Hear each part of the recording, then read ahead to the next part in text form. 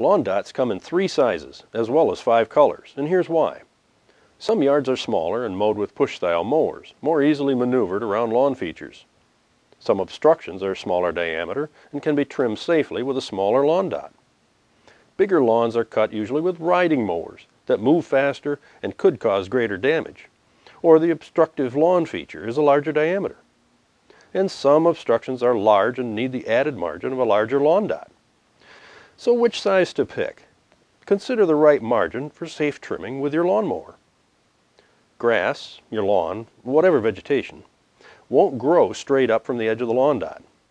It will lay out over the edge, usually about as much as it is in height when you mow. Say you cut your lawn when it's 4 inches tall. Grass will lay out onto your lawn dot about 4 inches. Then your mower needs to pass over it with enough margin to suck it up to the blades, to cut it back to say 2.5 inches. Then you want some clearance between the mower and the obstructive feature.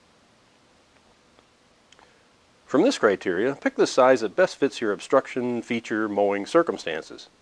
An 18-inch lawn dot with a 1-inch center hole will work best with push mowers and obstructions to say 3 inches diameter.